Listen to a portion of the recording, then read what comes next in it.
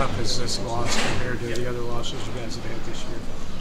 Uh, it's tougher for us because we actually played our hardest, and it's at home. Can't really lose games at home. It's, it's not gonna be. It is gonna be heartbreaking. So I could say that's that's really the toughest part. What do you think made the difference down the stretch? They made shots and we didn't. That's that's all. That, that's all.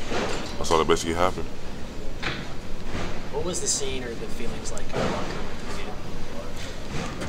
locker Um, coach talked about what we did that was wrong in the end. Uh, guys were still trying to figure out what we were doing wrong. It was, a, it was, it was real quiet in the, in the locker room. It really hurt us, to be honest. Uh, but you know, it's just a learning lesson. We just got to move forward and get ready for the next game. How tough will it be to shake this off and get ready for Texas A&M? You know, it's just it's just another game, just another learning process. Coach always tells us it's not a it's either win or you learn, and we're just going to take it as a learning process right now and just forget about this game just get ready for Texas A&M this weekend.